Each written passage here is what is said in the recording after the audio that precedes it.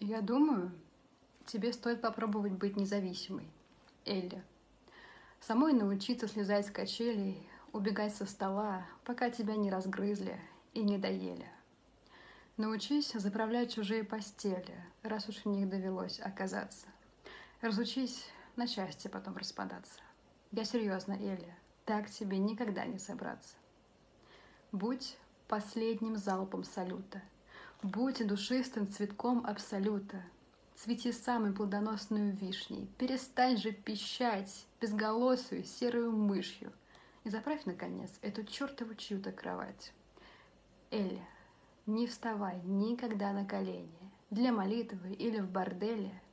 Будь сама себе спутником, путеводной звездой, полководцем, Будь кометой, парусами, будь солнцем, Стань же той, кто бесстыдно и жадно смеется — той, кто падает, но не сдается.